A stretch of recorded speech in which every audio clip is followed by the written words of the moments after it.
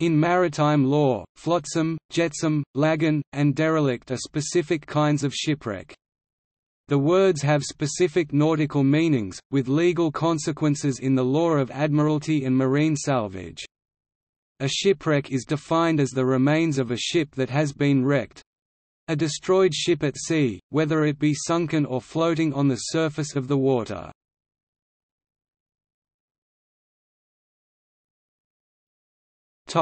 Overview A wreck is categorized as property belonging to no apparent owner, that either sinks to the seabed, or floats on the surface of the water, whether it be intentionally cast overboard, or as the result of an accident. The term encompasses the hull of the vessel and its fixtures, as well as any other form of object on board, such as cargo and stores, and personal effects of the crew and passengers. This also encompasses the narrower definition of salvage, that is, property that has been recovered from a wreckage, or the recovery of the ship itself. There are a number of factors that contribute to the formation of a shipwreck, that can be divided into physical and cultural processes. A site can be affected by physical processes, that is, naturally occurring processes, such as the corrosion caused by salinity and ocean currents, or the growth of native and foreign marine organisms. It can also be affected by cultural processes, that is, by human interactions, such as adding or removing materials from the site of the wreck.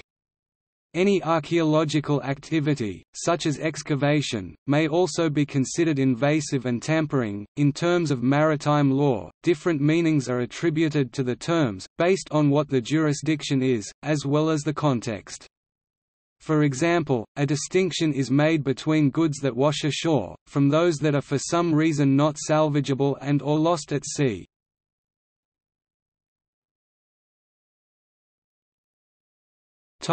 Law of salvage Ownership of a wreck is a highly controversial issue, as there are no clear lines within which it is defined. It may be acquired through various means that range from succession to confiscation. There is also a distinction to be made between the ownership of the hull itself and the cargo it contains, as the hull may be abandoned intentionally, whereas the cargo may be out of necessity in the case of an emergency or the need to shed weight from the vessel. In these parameters, abandonment of the ship by its passengers constitutes as a loss of possession, but to abandon the claim on the title itself, intention to relinquish it is required. This affects wrecks by limiting that which is considered abandoned.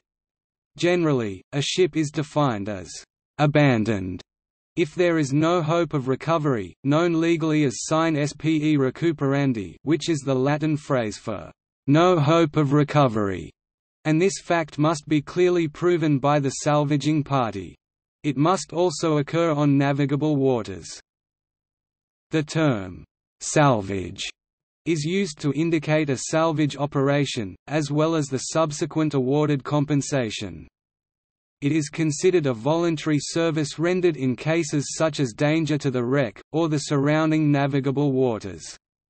In terms of compensation, it is seen as being awarded to anyone who voluntarily assisted in the recuperation of the wreck, whether it be saved from upcoming danger, or from loss.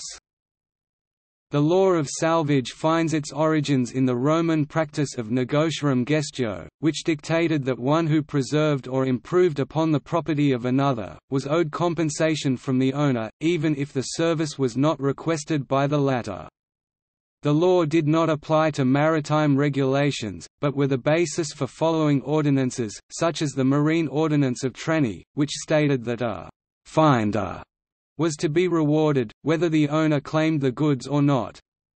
The laws have evolved since negotiorum gestio, and today, in the United States, a salvor who voluntarily brings the goods back into port may legally lay claim to them, or deliver them to a marshal, in return for a reward.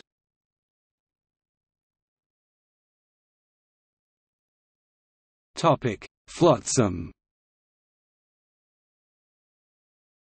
Also known as flotsam, the term flotsam refers to a sunken vessel whose goods float to the surface of the sea, or any floating cargo that is cast overboard. In terms of maritime law, the definition of flotsam pertains to goods that are floating on the surface of the water as the result of a wreck or an accident. As there is no clear way of defining ownership, one who discovers flotsam is allowed to claim it, unless someone claims ownership to the items in question. Even when the source is known, as with the up to 270 cargo containers lost by the MSC Zoe in heavy seas in December 2018 off the German island of Borkum, as a practical matter the lost goods found on the Dutch coast was considered to be flotsam.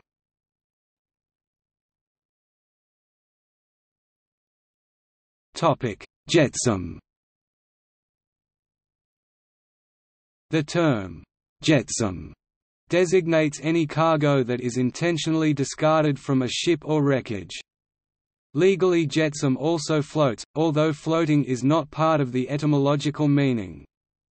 Generally, jettisoning connotes the action of throwing goods overboard to lighten the load of the ship if it is in danger of being sunk. Per maritime law, one who discovers these artifacts is required to return them to their rightful owner only in the case that the latter makes a legally abiding claim, although, according to the National Oceanic and Atmospheric Administration, Flotsam may be claimed by the original owner, whereas jetsam may be claimed as property of whoever discovers it.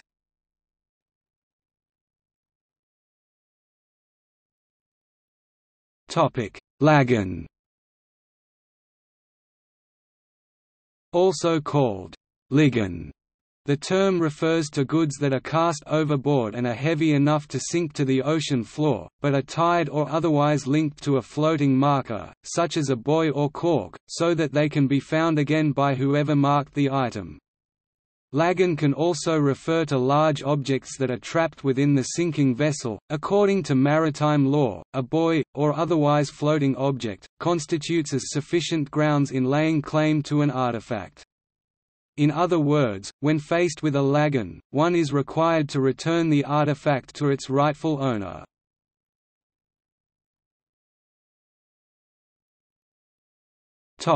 Derelict Derelict can refer to goods that have sunk to the ocean floor, relinquished willingly or forcefully by its owner, and thus abandoned, but which no one has any hope of reclaiming. In terms of maritime law, derelict is considered property abandoned on navigable waters which has no hope of being recovered, or sine spe recuperandi, and no expectation of it being returned to its owner, or sine animo revertendi.